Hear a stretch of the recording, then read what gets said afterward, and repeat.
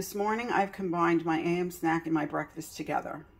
Reason being is that I'm trying out this Weight Watchers on the go classic coffee protein shake, I'm going to call it. It has 160 calories and is loaded with 30 grams of protein but has less than a gram of fiber. So I need to have a certain amount of fiber in my breakfast. Uh, so I've decided that I'd have an orange with it. Something different. So far, the shake is extremely creamy. I just made it with eight ounces of water and six ice cubes. I did add some almond extract to it. I didn't think it was very flavorful. It does, if you're not a person who's a fan of instant coffee, this is not for you. I personally am not a fan. I don't know if I'll buy these again. Uh, I wanted it because it'd be something different and I will drink them, but I will be adding some flavoring to them because I don't like that distinct taste of instant coffee. Um, in any event, it is a large shake. It comes out to be a lot because there's a lot left in here and I did taste it already, so it was really to the brim. Uh, what could I have done? I was thinking about what I could do to have this just be a breakfast because for me, it, I'd like my breakfast to be more toward 200, 210 calories, but let's say I wanted to do this as a breakfast, well then I would add some of this organic oat fiber by Anthony's. Um, I've not seen this before. People use this for baking when they're on keto. And um, this is a really good product. It is like a white powder. And one teaspoon adds three grams of soluble fiber. And um, so I like to make sure I get enough fiber because the fiber keeps me fuller. Soluble fiber will, if you're dieting, keep you fuller longer. And the insoluble fiber, which this orange has both soluble and insoluble, will also um, aid in your digestion and it will kind of like put off hunger pangs. It helps with that as well as um, bulking up stool, which sorry about the TMI, but that's in case people don't realize insoluble fiber versus soluble fiber that there is a difference. But they're both good for you when you're trying to lose weight or maintain weight loss.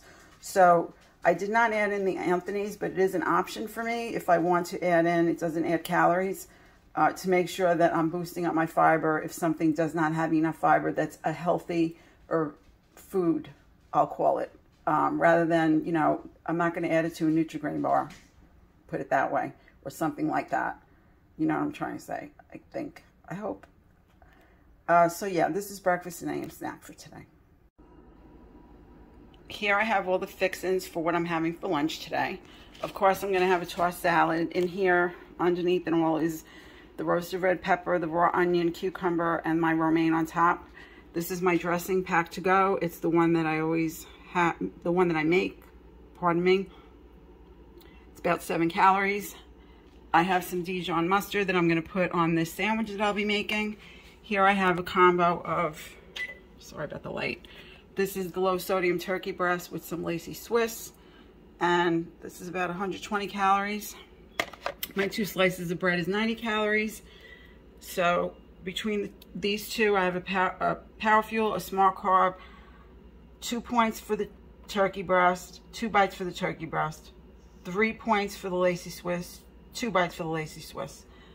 And the bread is a Smart Carb, two points and two bites for 90 calories. My salad is two vegetables. And um, I'm using the Fit Active from Aldi, um, 45 calorie multigrain. Really like this bread. So that's my lunch for today. This is my dinner for tonight, for real.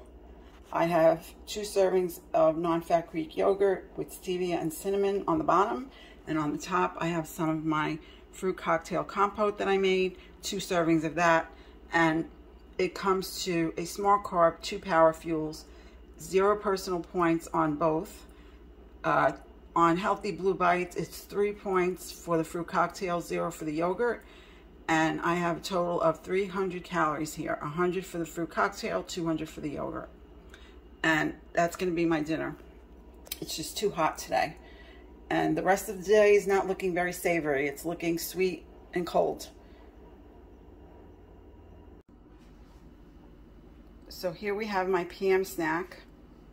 This is four Wasa rye crackers, the light rye, for 80 calories, and a serving of the fat-free cottage cheese, Walmart brand, for 80 calories. And what I did is I took some ranch seasoning and mixed it into the cottage cheese, and then I topped it off with um, some of the everything bagel mix. So I cut the sweet a little bit by having something savory.